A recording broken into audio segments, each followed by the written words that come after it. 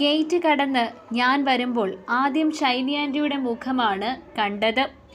പതിവ് പോലെ എന്നെ കണ്ടതും ആ മുഖത്ത് നീരസം നിറഞ്ഞു.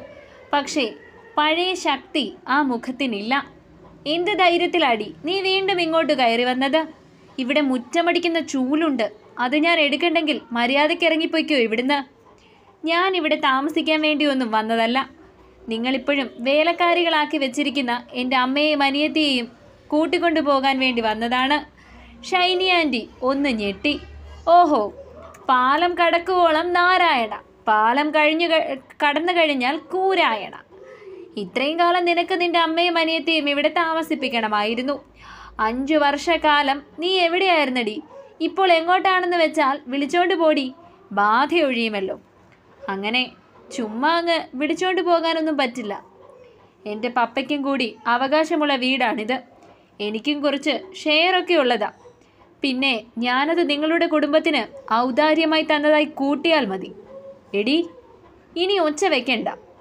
അറിവ് വെച്ച കാലം മുതൽ ഞങ്ങളെ ഇവിടിട്ട് ദ്രോഹിച്ചതിന് കണക്കില്ല. ഒരു തെറ്റും ചെയ്തിട്ടില്ല. ഇതിനൊക്കെ ദൈവത്തിന്റെ കോടതിയിൽ നിങ്ങൾ മറുപടി പറയും. അതുമാത്രമേ എനിക്ക് പറയാനുള്ളൂ. എന്റെ ശബ്ദം കേട്ടിട്ടാവണം. പെട്ടെന്ന് അഞ്ചു ഇറങ്ങി വന്നു. എന്നെ കണ്ടപാടെ അവൾ എന്നെ കെട്ടിപ്പിടിച്ചു. ഒരുപാട് പരിഭവങ്ങളും വേദനകളും അവൾക്ക് പറയാനുണ്ടായിരുന്നു. അഞ്ചു വർഷം ചേച്ചിയുടെ പണം മാത്രമേ അവളെ തേടി എത്തിയിരുന്നുള്ളൂ. ആശ്വാസ വാക്കുകൾ പോലും വന്നില്ല. മനഃപൂർവം വിളിക്കാതിരുന്നതാണ്. അതിന് കാരണം അമ്മയോടോ അഞ്ജുവിനോടോ സംസാരിച്ചാൽ ഒരുപക്ഷെ അവർ അനുഭവിക്കുന്ന വേദനകൾ അറിഞ്ഞാൽ ഞാൻ തിരികെ പോരും. അവരെ അവിടെ നിന്നും രക്ഷിക്കാൻ കിട്ടുന്ന എന്തെങ്കിലും ഒരു ജോലി ഉപയോഗിച്ച് ജീവിക്കാൻ ശ്രമിക്കും. അങ്ങനെ അല്ലാതെ ഇരിക്കണമെങ്കിൽ മനഃപൂർവം കുറച്ചു കാലം എനിക്കവരെ മറക്കണമായിരുന്നു.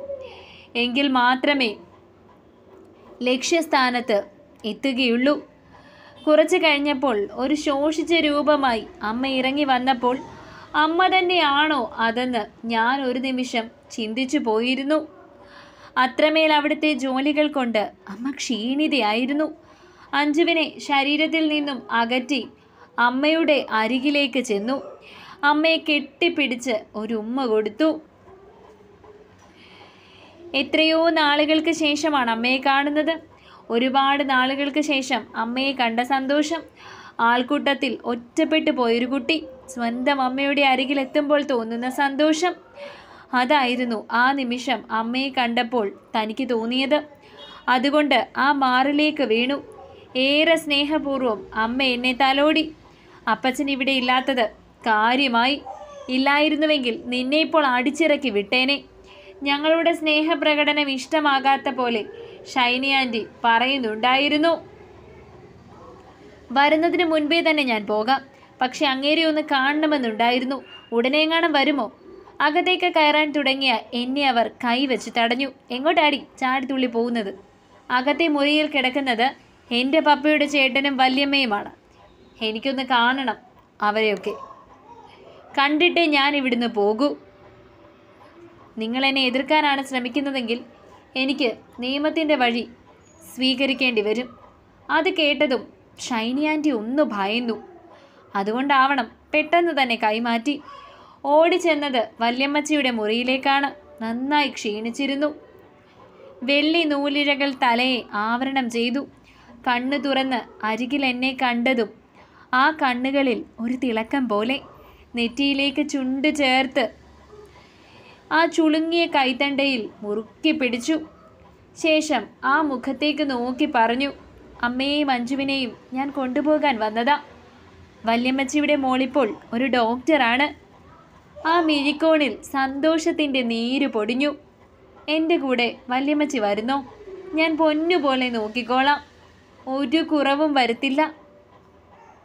ആ കണ്ണുകൾ ഒരു നിമിഷം തിളങ്ങി. ഞാനത് കണ്ടു. വീണ്ടും കവിളിൽ ചുണ്ടുകൾ ചേർത്തു. അപ്പോൾ ആ കൈകൾ എന്റെ ശിരസിനെ ഒന്ന് തഴുകി. പൊയ്ക്കോ എന്ന് പറയുന്നത് പോലെ എന്നെ വിളിക്കണം.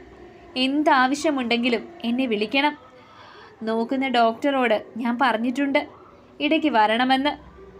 എന്തെങ്കിലും ഉണ്ടെങ്കിൽ ആളോട് പറഞ്ഞാൽ മതി. എങ്ങനെയെങ്കിലും അവിടെ അറിയിച്ചാൽ മതി. എന്ത് ബുദ്ധിമുട്ട് തോന്നിയാലും ഞാൻ ഓടി വരും. എനിക്ക് യാത്ര പറയാൻ മറ്റാരുമില്ല. എവിടെയാണെങ്കിലും എനിക്ക് വേണ്ടി പ്രാർത്ഥിക്കണം. അതും പറഞ്ഞ് കയ്യിൽ കരുതിയിരുന്ന കമ്പിളി പുതപ്പ് വല്യമ്മച്ചിയുടെ കട്ടിലിനടിയിൽ വെച്ചു കൊടുത്തു. ഞാൻ വാങ്ങിയതാണ്. അത് കണ്ടതും വലിയ സന്തോഷമായിരുന്നു. ആൾക്ക് വീണ്ടും ഒരു ഉമ്മ കൊടുത്ത് കാലിൽ തൊട്ടു വണങ്ങി ആ മുറിയിൽ നിന്നും ഇറങ്ങി പിന്നെ നേരെ പോയത് വലിയ പപ്പയുടെ മുറിയിലേക്കായിരുന്നു. മുറി തുറന്നപ്പോഴേക്കും മുറിയിൽ നിന്നും മൂത്രത്തിന്റെയും മരുന്നിന്റെയും എല്ലാം ഇടകലർന്ന അസഹ്യമായ ഒരു ഗന്ധം വന്നു. എങ്കിലും ഞാൻ അകത്തേക്ക് കടന്നു. അകത്ത് കിടക്കുന്ന രൂപം വലിയ പപ്പയാണോ എന്ന് ഒരു നിമിഷം എനിക്ക് സംശയം തോന്നിയിരുന്നു. അത്രമേൽ മാറിപ്പോയിരുന്നു.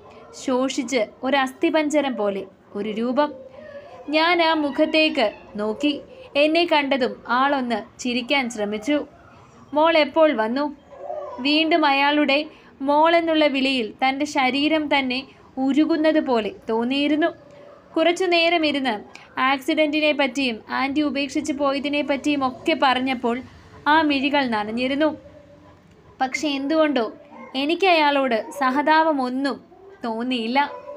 മോൾക്ക് വിഷമമായിട്ടുണ്ടാവും. എന്റെ കാര്യങ്ങളൊക്കെ കേട്ടിട്ട് എന്റെ മുഖത്തേക്ക് നോക്കി ചോദിച്ചപ്പോൾ ആ കണ്ണുകളിലേക്ക് ഞാൻ രൂക്ഷമായി ഒന്ന് നോക്കി.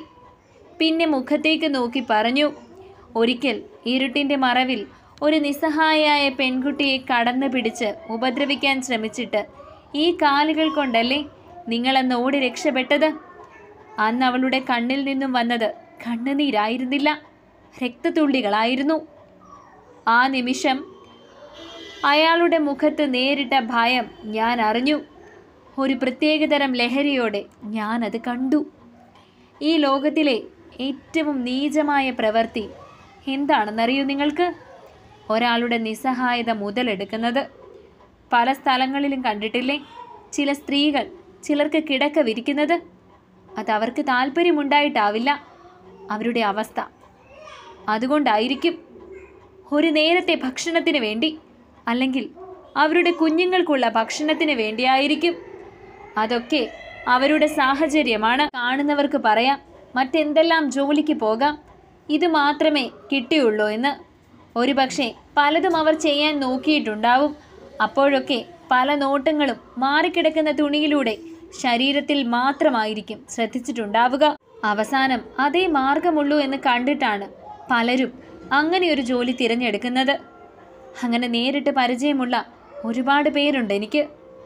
ഇവിടെയല്ല ഓർഫനേജിൽ ജീവിതത്തിന്റെ ആരോഹണവും അവരോഹണവും ഒക്കെ തെറ്റിപ്പോയവർ ഒരു നേരത്തെ ആഹാരത്തിന് വേണ്ടി സ്വന്തം മടിക്കുത്തഴിക്കേണ്ടി വന്നവർ.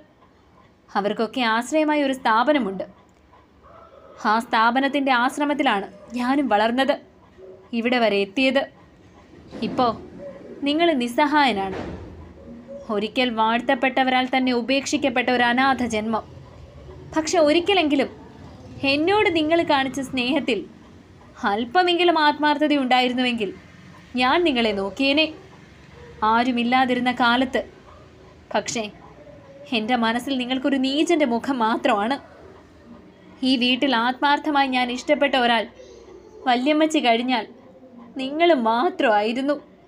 നിങ്ങളെ വിളിക്കുമ്പോൾ എന്റെ വാക്കുകളിൽ സ്നേഹം മാത്രമേ ഉണ്ടായിരുന്നുള്ളൂ. എന്റെ അച്ഛനുണ്ടായിരുന്നുവെങ്കിൽ എങ്ങനെയായിരുന്നു ഞാൻ സ്നേഹിക്കുക? അങ്ങനെ മാത്രമാണ് നിങ്ങളെ ഞാൻ സ്നേഹിച്ചിട്ടുള്ളത്.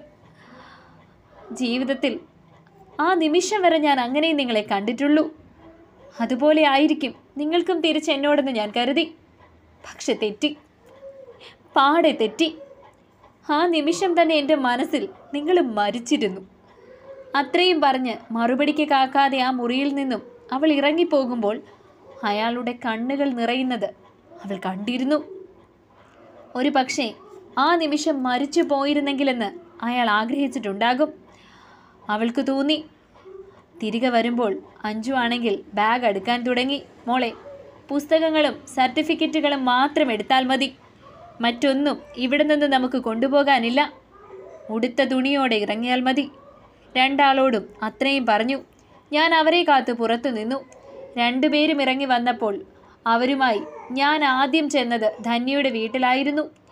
കഴിഞ്ഞ കുറച്ച് ദശകങ്ങളായി അനുഭവിച്ചു വന്ന ഒരു വലിയ ദുരന്തത്തിന്റെ കഥ പറയാനുണ്ടായിരുന്നു അമ്മയ്ക്ക് ധന്യയുടെ അമ്മയോട്. എല്ലാം മൗനമായി കേട്ടുകൊണ്ട് ഞാനും.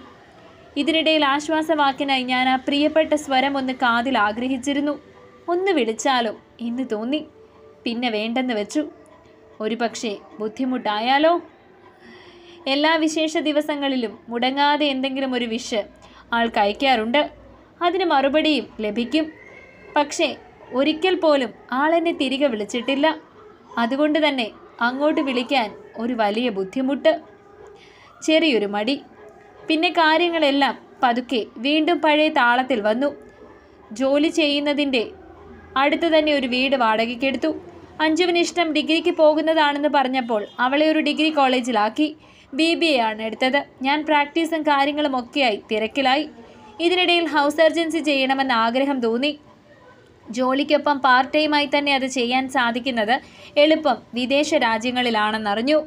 അതിനുവേണ്ടിയുള്ള ഒരു പരീക്ഷ എഴുതി. അധികം വൈകാതെ തന്നെ കാനഡയിലേക്കുള്ള ഒരു ഓഫറും വന്നു. അതുമാത്രം അമ്മയെയും അഞ്ജുവിനെയും വേദനയിലാക്കി.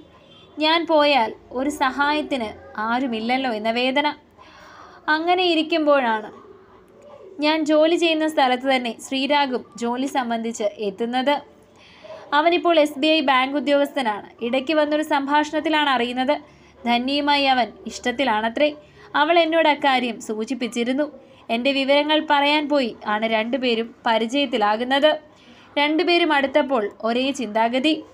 ശ്രീരാഗ് ഇവിടെ ഉണ്ടല്ലോ. എന്തെങ്കിലും ആവശ്യത്തിനെന്ന് കരുതിയാണ് കാനഡയിലേക്ക് പോകാനുള്ള ബാക്കി കാര്യങ്ങൾ തീരുമാനിച്ചത്. എയർപോർട്ടിലേക്ക് വരാമെന്ന് പറഞ്ഞതും അവൻ തന്നെയായിരുന്നു.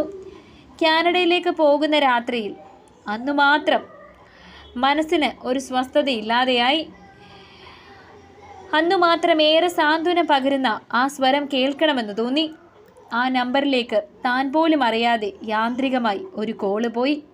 തുടരും. അടുത്ത ഭാഗങ്ങൾക്ക് വേണ്ടി ചാനൽ സബ്സ്ക്രൈബ് ചെയ്യാൻ മറക്കല്ലേ? ഇനി ഓണം കഴിഞ്ഞിട്ടേ ഉള്ളൂ വീഡിയോ.